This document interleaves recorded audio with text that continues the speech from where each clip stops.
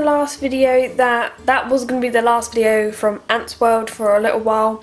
Well, I'm going to just do this one as the last one actually. So I did mention that I caught another queen ant because there was loads going around the other day and this one didn't have its wings and it was walking on the floor so I assumed it had been mated with.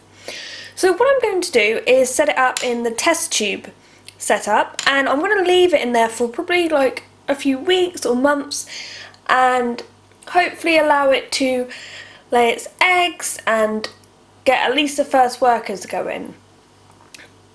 I'm going to try to take this a lot slower than the other set of ants because obviously when I got them they were in a test tube but I'd already had the ants world set up.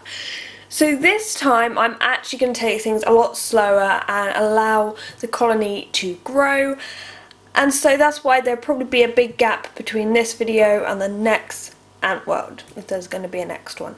So, very simple, I've got this test tube, got it from eBay, I've got a few of these actually because you tend to buy these in bulk.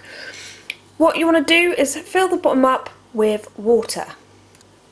Okay, so I filled this up quite a bit, um, that's because I want to leave her undisturbed for a while so she has plenty of water. Now the next thing you want to do is fill this with, I believe they're called cotton balls, but all I have are the makeup pads. So I'm going to do my best to stuff them in here and you want it to be upright when you're doing it so you don't get air bubbles. Okay, you want to do this quite securely so I pushed it down with a bamboo skewer and I allowed the water to soak up to about here um, and if you turn it over if it's leaking water then it's not secure enough.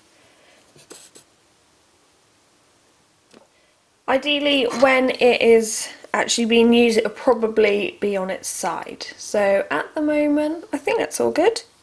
For the lid, I actually have a stopper because that just came with a test tube.